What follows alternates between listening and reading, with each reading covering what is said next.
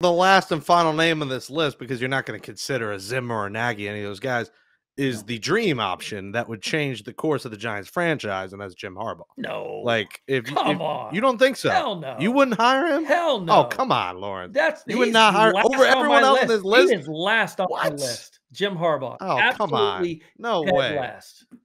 Dead last. Paul, defend me on this one. I think No. Jim should be look, number one on your I, I can't I can't not defend you because I put him on my list and I put him on my list kind of as a goof and something to kind of no, you know talk about now. What what- hey Lawrence, you you beat him in the um in the um NFC championship no, game, right? he's That not was a for me. knockdown He's drag not out for game. me. I don't think a starting with you guys, he would handle you guys very well, and b just some stuff I've heard from former players that played for him. No way. They just got you'd have to you- they just kind of got rid of that guy. The the the the training camps that were just so extreme, the practices that were so extreme. Listen, I you know more more of this stuff's going to start coming out, you know, from former players, and more Yeah. guys are sharing more and more about Joe since he's gone. But I heard the training camps and the practices were brutal, brutal, and that's what Jim Harbaugh is.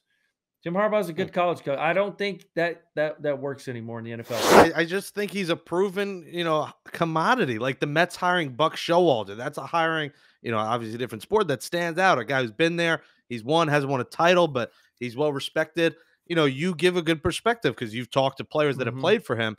But just looking on the paper and, and what he's done and the experience and you know, taking the Niners uh, to the Super Bowl like he did.